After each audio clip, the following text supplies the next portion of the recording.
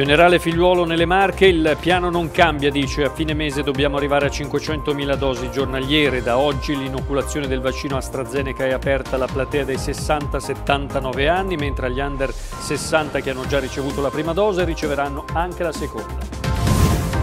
La campagna vaccinale sta entrando nel vivo anche grazie a questo nuovo centro. Ci sarà un punto di svolta importante, a dirlo è stato il presidente della regione Marche Acquaroli, questa mattina a Piediripa di Macerata. Nelle ultime 24 ore intanto sono 490 i nuovi positivi nelle Marche, il contagio corre a Pesaro e Ancona. Quando la lontananza diventa pesante, da Senigallia la storia di due coniugi che a causa della pandemia non vedono la figlia e le tre nipotine che vivono a Roma da oltre un anno. Le mascherine sono fondamentali per proteggersi dal virus, ma come fare a riconoscere quelle sicure da quelle contraffatte? Ecco un mini vademecum stilato da un'azienda di Padova. La neve e il gelo di questi giorni creano problemi all'agricoltura, ma a preoccupare di più il settore è la mancanza d'acqua nei pozzi per la scarsità delle piogge dello scorso inverno. Occhio alla notizia. In studio Marco Ferri. Benvenuti cari telespettatori di Fano TV a questa nuova edizione del telegiornale Occhio alla Notizia sul canale 17. Allora partiamo, apriamo questa edizione del telegiornale con la visita nelle Marche del commissario per l'emergenza Covid eh, Figliuolo. Il generale eh, si è detto soddisfatto del piano vaccinale della Regione e ha annunciato entro la fine del mese, eh, mese di aprile, eh, che si potranno somministrare fino a 15.000 dosi al giorno. Vediamo il servizio di Simona Zonghetti. Il target non cambia, quindi noi dobbiamo arrivare a 500.000 a fine mese, però abbiamo aperto da oggi la platea dai 60 anni in su. Ha fatto il punto sul piano vaccinale il commissario straordinario per l'emergenza Covid-19 Francesco Paolo Figliuolo, arrivato questa mattina nelle Marche insieme al capo dipartimento della protezione civile Fabrizio Curcio. Il generale che ha fatto tappa al punto vaccinale di Piediripa a Macerata ha detto che le Marche sono molto vicine al target. Ieri la regione ha fatto 9.000 vaccinazioni e da questa settimana devono arrivare intorno a 10.000, ha spiegato, per poi portarsi a regime a fine mese per essere in linea con il piano, cioè con le 15.000 inoculazioni. Il generale è intervenuto anche sulle novità che riguardano AstraZeneca. L'EMA, sottolineato figliuolo, ha detto che è un vaccino sicuro e spero che la vicenda si concluda così. Le seconde dosi vanno a chi l'ha già fatto la prima, le altre abbiamo allargato la platea dai 60 ai 79, dai 60 ai 79 anni sono circa 13 milioni e 275 mila eh, possibili utenti, di cui 2 milioni e 270 mila hanno già ricevuto una prima dose in precedenza e quindi prioritariamente il target è questo.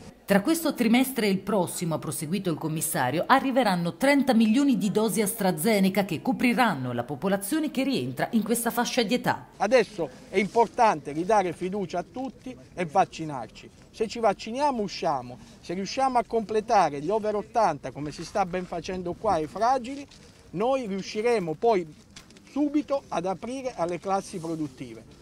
I nostri territori hanno sofferto, questo è un territorio del Made in Italy, dobbiamo riportare il Made in Italy nel mondo e ci dobbiamo riaprire. Grazie. Terminata la visita nella struttura benedetta dal vescovo Nazareno Marconi, figliuolo si è spostato al punto vaccinale di Ancona allestito nell'impianto sportivo Paolinelli, poi si è recato a Palazzo Raffaello dove ha incontrato la giunta regionale e i prefetti delle Marche.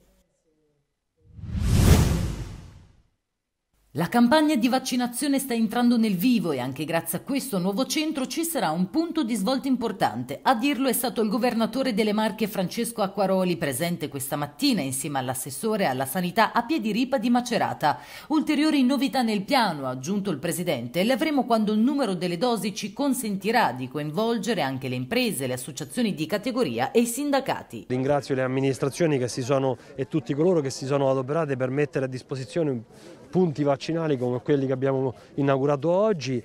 Credo che i tempi dipendono, come le dicevo, molto dal numero di dosi che ci verranno consegnate.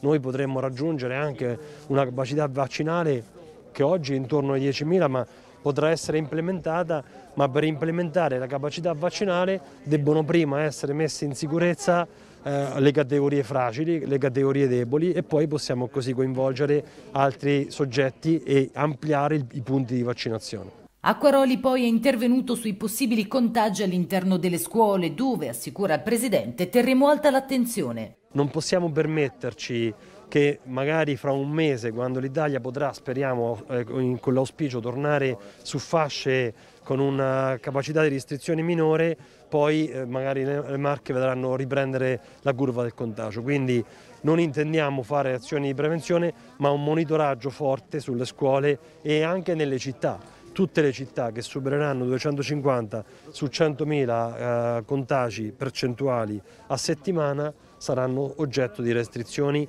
che van, van, andranno a cercare di tenere la curva sotto controllo senza arrivare a misure che coinvolgono le province o tutta l'intera regione. E al centro vaccinale di Pesaro invece le cose eh, anche oggi non sono andate un granché bene e a dirlo è il sindaco di eh, Pesaro Matteo Ricci che scrive al centro vaccinale di Pesaro allestito all'interno del grande centro commerciale anche oggi si sono registrati nuovi disagi organizzativi per la vaccinazione. Il posto è eccezionale, scrive il sindaco di Pesaro, ma oggi funzionavano solo due punti vaccinazione su otto. Pare che mancasse personale sanitario per la somministrazione del siero. Cara Regione Marche e Asur, scrive Ricci, sono mesi che vi diciamo che dobbiamo migliorare e potenziare il lavoro. Bisogna moltiplicare i posti e gli operatori sanitari. Il luogo scelto a Pesaro va benissimo, ma se non ci sono vaccinatori si creano dei disagi e delle file. Mi dispiace, conclude Ricci, per i tanti cittadini che oggi hanno segnalato a me e a altri sindaci queste grandi difficoltà. Intanto sono 15 decessi legati al coronavirus eh, nelle ultime 24 ore nella nostra regione. Tra le vittime ci sono anche due persone residenti nella provincia pesarese. Sono 490 invece i positivi al Covid registrati nell'ultima giornata. La provincia più colpita è quella di Pesaro e Urbino con 152 nuovi casi, seguita da quella di Ancona con 149 positivi. I ricoveri negli ospedali sono in leggero calo. I pazienti in terapia intensiva scendono a 130 128, mentre quelli in semi-intensiva a 204. Il pericolo di contagio ci costringe a stare a mantenere le distanze e spesso anche a stare lontani eh, per molto tempo. La storia che adesso vi raccontiamo eh, arriva da Senigallia, una coppia di coniugi eh, non vede eh, la figlia e i nipotini, le nipotine, eh, le tre nipotine che vivono a Roma da oltre un anno. Prima il lockdown, poi le zone rosse e i provvedimenti adottati dallo Stato e dalle regioni anche nelle singole province. Da più di un anno ormai Marco Burnelli, settantenne di Senigallia, e sua moglie non vedono la figlia e le tre nipotine di 8, 10 e 12 anni. Una mancanza provocata dalla pandemia e dalle scelte prese dalle istituzioni che continua a pesare. Impossibile per loro vedere i familiari anche durante le festività. Quello che non eh, digerisco è che sono state eh, di volta in volta dati permessi a chi aveva le seconde case di andarci. Quindi io se avessi avuto un, un monolocale a Roma sarei potuto andare e quindi, quindi queste persone hanno avuto in tutte le festività, ma comunque anche in tutte le altre date dell'anno, la possibilità di andare nelle seconde case. Chi non aveva la seconda casa a Natale e Pasqua, magari un, giorno solo, eh, magari facendo anche un tampone prima, un tampone dopo, tutto quello che però a noi ci è stato proprio negato. E questa è una cosa che la ritengo molto una disparità da parte insomma, dei nostri politici di tutti i livelli eh, che nessuno ci abbia pensato. E alle vacanze all'estero, perché anche quelle sono permesse in alcuni posti. Eh, oltre a quello, poi dulcis in fundo anche quelle adesso. In sostanza vede crescere i suoi nipoti attraverso uno schermo. Che cosa le manca di più di loro? Eh beh, eh, il contatto.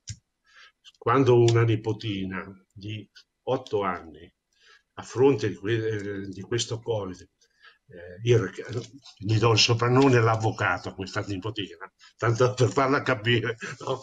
mi ha fatto, nonno, guarda che io questi vaccini non li faccio assolutamente perché questi fa- vaccini fanno male. Ma sai, no, bisogna vedere. No, fanno male.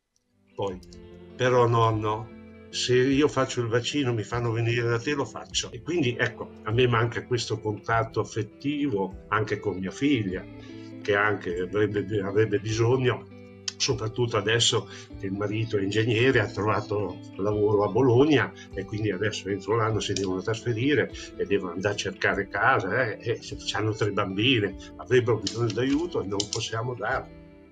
Eh, e quindi è una situazione un po' pesante. Dopo un anno è un po' pesante perché poi siamo, siamo io e mia moglie, per carità, ringraziamo eh, il cielo che, che siamo in due, però siamo in due, tutti i giorni in due, con l'unica figlia lontana e in queste situazioni.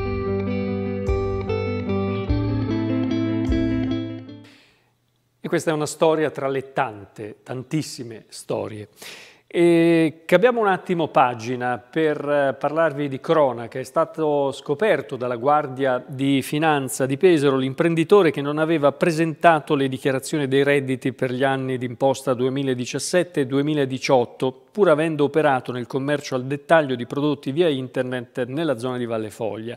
L'operazione delle fiamme gialle ha consentito di accertare la mancata dichiarazione di 650.000 euro eh, di ricavi e di qualificare il contribuente come evasore totale. L'attività si è conclusa con la comunicazione dell'Agenzia all'Agenzia delle Entrate per gli accertamenti di competenza. E sempre la Guardia di eh, Finanza nelle scorse settimane ha sequestrato anche eh, centinaia di mascherine eh, contraffatte, mascherine false, anche nella provincia di Pesaro e Urbino. Allora vediamo nel prossimo servizio come fare per riconoscere quelle, eh, le mascherine che sono a norma e quelle invece che non lo sono. Sono decine di milioni le mascherine fasulle che girano per l'Italia. Molti sono i truffatori che hanno approfittato dell'emergenza sanitaria e del fatto che alcune aziende abbiano per questo deciso di avviare procedure di importazione. Le norme infatti a volte non vengono rispettate e i consumatori chiedono informazioni e certezze ai rivenditori. Ma com'è possibile riconoscere le mascherine regolari? Clariscience, azienda di Padova che analizza i documenti in materia, ha pensato di stilare un mini vademecum. Come prima cosa, però, è necessaria una distinzione. I requisiti delle chirurgiche sono diversi rispetto a quelli richiesti per i dispositivi di protezione FFP2 e P3. E per le mascherine chirurgiche, sulla mascherina stessa, per esempio, non è possibile eh, trovare delle indicazioni specifiche, bisognerà guardare la confezione mentre per le maschere di protezione individuale, le maschere filtranti FFP2 e FFP3, eh, se sono conformi a quanto previsto dalla normativa europea, è possibile eh, ritrovare delle informazioni sulla mascherina stessa. In base ai regolamenti europei, ci spiega Margherita, nelle FFP2 e FFP3 deve esserci l'indicazione della normativa EN 149, il tipo di maschera e il marchio CE che deve avere delle proporzioni ben precise. Se è diverso o ha proporzioni differenti rispetto a queste, allora è possibile che il prodotto sia contraffatto e non assicura quindi il rispetto degli standard di sicurezza imposti dalle normative. Inoltre le maschere filtranti FFP2 e FFP3, eh, essendo dispositivi di protezione individuale di terza categoria, ehm, richiedono che la marcatura CE presenti eh, accanto al marchio eh, il numero dell'organismo notificato che ha appunto certificato questo prodotto. Quindi ci devono essere questi quattro numeri accanto al marchio. Corretto, i numeri vanno a identificare quello che è l'organismo notificato che si è occupato della certificazione del tipo, quindi dell'analisi diciamo della performance del prodotto. Eh, ogni numero corrisponde a un organismo notificato, gli organismi notificati sono elencati sul sito della Commissione europea e quindi è possibile andare a ritrovare in una banca dati pubblica che si chiama Nando eh, le informazioni riguardo a questi organismi notificati. Per quanto riguarda i prezzi, invece, la situazione è incontrollata, cosa che non sorprende purtroppo in periodi di forte domanda. Le differenze sono spesso difficili da giustificare e data la situazione del mercato non si deve valutare la qualità delle mascherine in base al prezzo.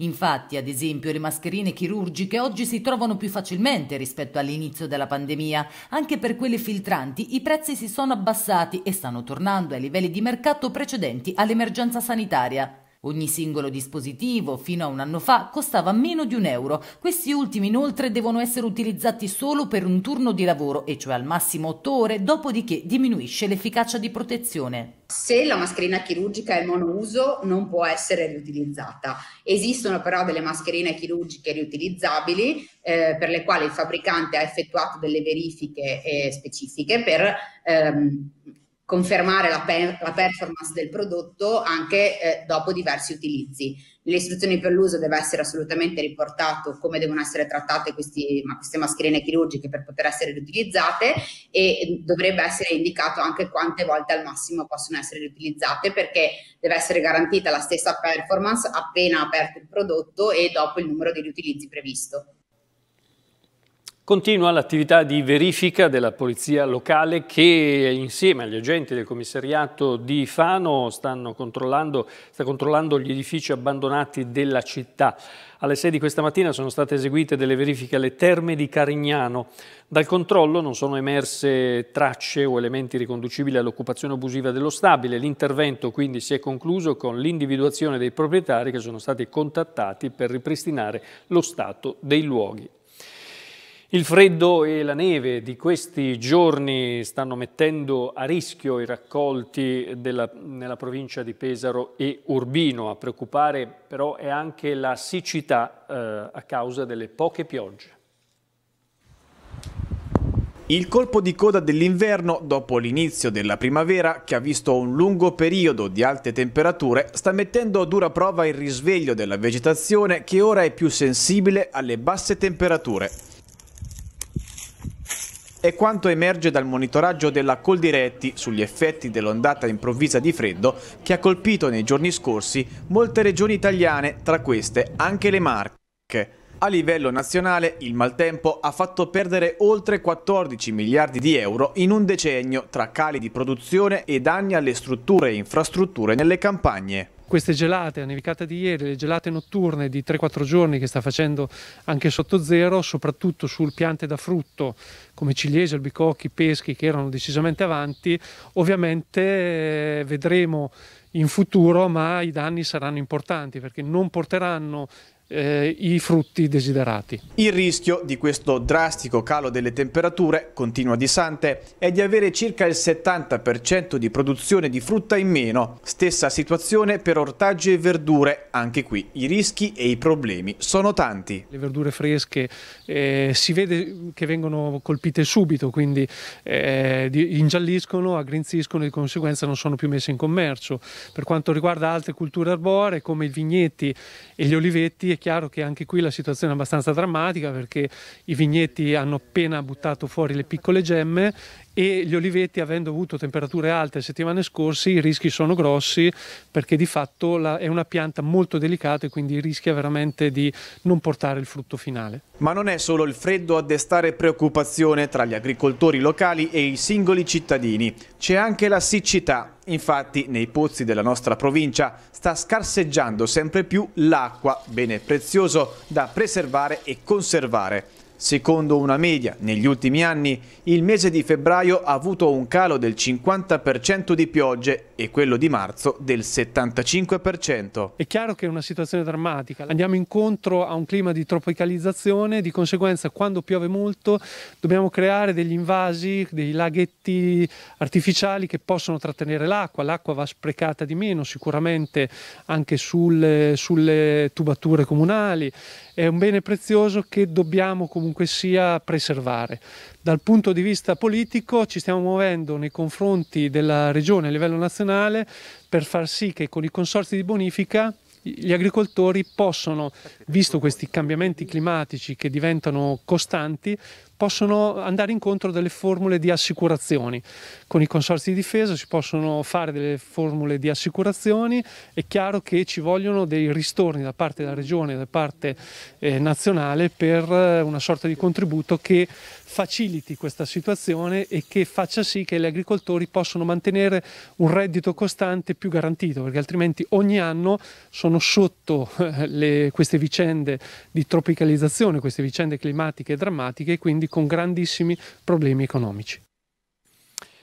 Ancora cronaca, due pakistani di 22 e 35 anni sono stati arrestati dalla squadra mobile di Senigallia per concorso in detenzione di droga a fini di spaccio. All'interno di un'auto partita da Senigallia e diretta da Ancona, la polizia ha trovato sotto la scatola dello sterzo un panetto di eroina peso, del peso di oltre un etto e 10 grammi. L'involucro con l'eroina era stato sistemato tra il vano portafusibili e la parte sottostante il volante, avvolto nel nastro adesivo da pacchi. I due pakistani pakistani sono stati trasferiti nel carcere anconetano di Montacuto in attesa di convalida. E questa era l'ultima notizia del nostro telegiornale. Grazie per averci seguito. A voi tutti l'augurio di un buon proseguimento con i programmi di Fano TV. Vi ricordo l'appuntamento di domani mattina alle 7 con la rassegna stampa. Occhio ai giornali. Arrivederci.